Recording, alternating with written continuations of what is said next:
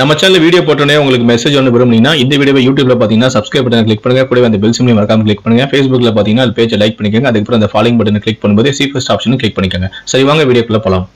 சண்டிகரை சேர்ந்தவர் தான் மணிர் சிங் வயது முப்பத்தி ஒன்று இவர் சண்டிகரில் உள்ள நியூஸ் பதினெட்டு தொலைக்காட்சி அலுவலகத்திற்கு சென்று தான் தன்னுடைய காதலியை எவ்வாறு கொலை செய்தன் என்று நேரலையிலேயே வாக்குமூலம் அளித்திருக்கிறார்.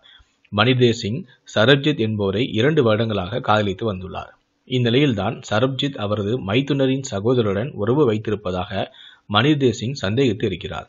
இதனால் இருவருக்கும் இடையே கருத்து வேறுபாடு ஏற்பட்டு இருக்கிறது இந்நிலையில்தான் கடந்த டிசம்பர் மாதம் முப்பத்தோராம் தேதி இரண்டாயிரத்தி பத்தொன்பதாம் ஆண்டு இருவருமே சண்டிகரில் உள்ள ஒரு ஹோட்டல் ஒன்றில் சந்தித்துள்ளனர்.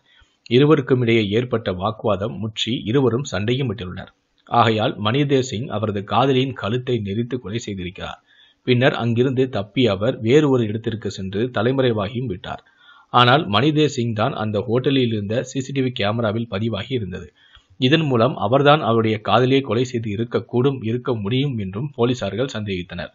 தற்போது போலீசாரின் சந்தேகம் உறுதியாகும் வகையில் அவரே தொலைக்காட்சி நேரலையில் வந்து அங்கு நடந்ததை தெல்ல தெளிவாக கூறியிருக்கிறார். இந்த சம்பவத்தை அறிந்து அறிந்தவுடன் சண்டிகர் போலீசார் உடனடியாக நியூஸ் பதினெட்டு அலுவலகத்திற்கு நேரடியாகவே சென்று கொலையாளியான மனிதர் சிங்கை அதிரடியாக கைதும் செய்தனர். மணிதர் சிங் ஏற்கனவே கடந்த இரண்டாயிரத்தி பத்தாம் ஆண்டு ஒரு சிறுமியை கொலை செய்ததற்காக குற்றம் சாட்டப்பட்டார் பின்னர் அவர் ஜாமீனில் வெளியே வந்துள்ளார். இந்நிலையில்தான் மணிதர் சிங் மற்றொரு கொலையும் செய்திருக்கிறார் என்பதும் குறிப்பிடத்தக்கது. இதை பற்றி உங்களுடைய கருத்துக்களை மறக்காம பதிவு பண்ணுங்க. நன்றி.